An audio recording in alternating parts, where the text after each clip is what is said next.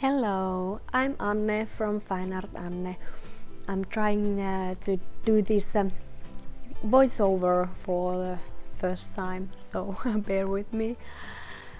Um, uh, this is a video of a fun little experiment I had. I painted this all with pan pastels using only red light. I'm sorry the quality of this video is not very good. I was at holiday trip while I painted this and I didn't have my camera stand with me so I, I had my boyfriend to assist me by holding the camera while I painted. Also because I used only this monochromatic red light I had troubles to get the lighting correct but uh, hope you will enjoy this video anyway. So here is the sketch I made earlier and these are the colors I used. Now I switch the light to red so you can see how those colors change in different lights. As you can see I can't tell which color is which. Now I will mix those pan pastels and arrange them to the palette so that uh, they are arranged accordingly to the tone I can see in this light. I placed only white and black so that I know where those colors are because I don't want those to, especially the black, uh, to mix too much for uh, some colors accidentally. I wanted to control those two colors. But everything else I had no idea what colors I was actually using while painting this.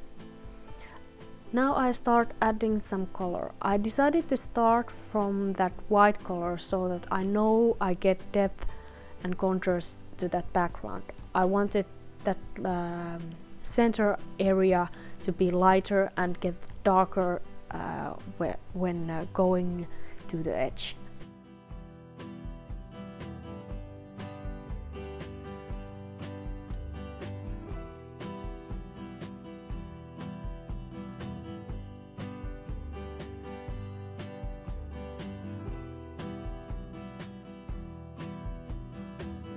Uh, after that I selected randomly some other darker colors for the edges and started to mix those different colors together to get the robust, nicely contrasted transformation from lighter center area to edges.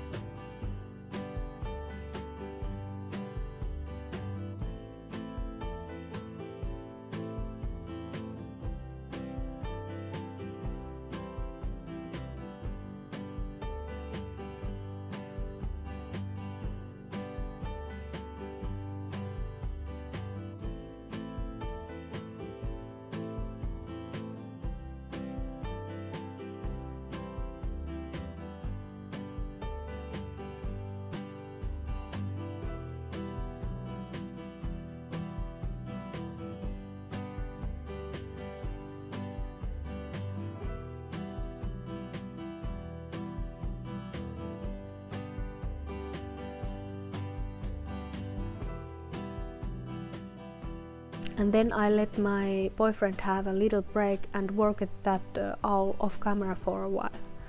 I had this tactic while painting this owl.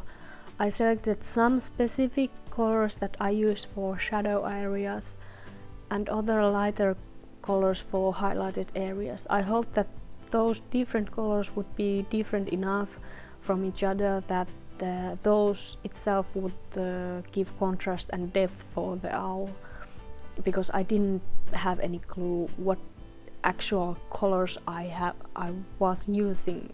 I didn't want to I hoped I wouldn't get red next to red or yellow next to yellow or green next to green. I wanted to get uh, different colors in different uh, areas and shadow areas uh, would be in totally different color than uh, highlight areas.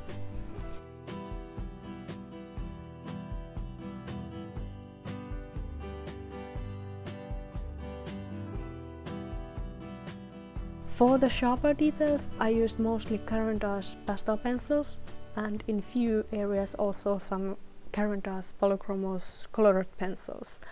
The main focus in this painting was not to choose right colors but rather focusing in the contrast and details.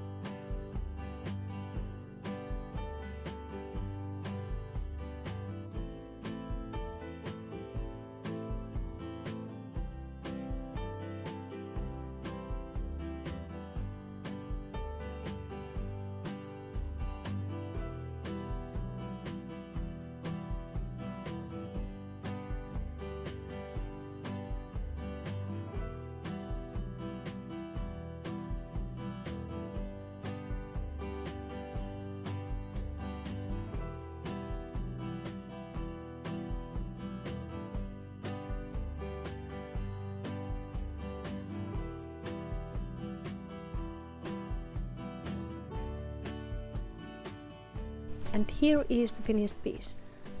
And now uh, I change the light so we can see the accurate colors I used. I was surprised how natural colored this turned out.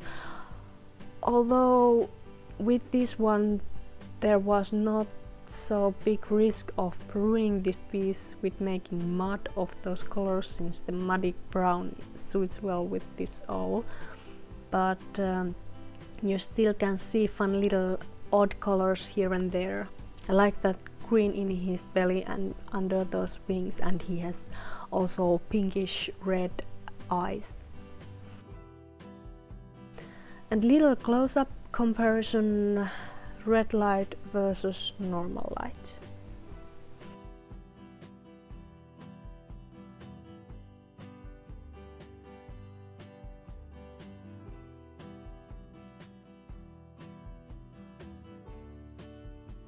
And here is a bit better picture I took on natural light.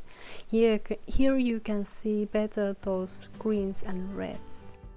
Hope you liked this little experiment. Remember, lighting matters when painting. See you next time. Bye.